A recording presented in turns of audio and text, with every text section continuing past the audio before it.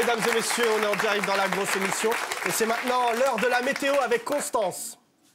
L'hiver arrive, protégez-vous. Avec les armures du son, vous êtes blindés. Les armures du son vous présentent la météo. Madame, monsieur, bonsoir. Ce soir, je présente la météo habillée en ours polaire pour rappeler à tout le monde que chaque seconde, nous détruisons la planète un petit peu plus. J'en profite également pour vous annoncer que je suis bipolaire. Ce qui ne signifie pas que je couche avec des femmes dans des endroits très froids du globe, non.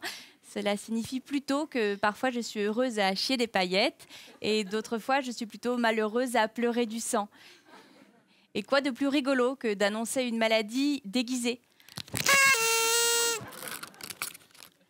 Les températures sont en baisse largement sur l'ensemble de l'Hexagone. Nous allons donc nous rappeler avec tristesse qu'il y a des gens qui souffrent, des gens qui ont froid, des gens qui ont faim.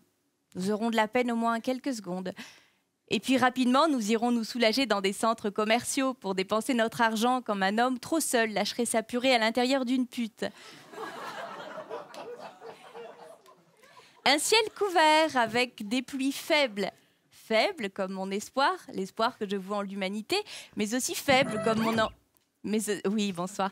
Mais aussi mais aussi faible comme mon envie de me reproduire dans ce monde de merde où le profit et l'individualisme enculent la bienveillance et le partage.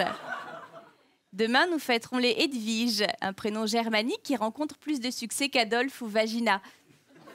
Bonne soirée à tous.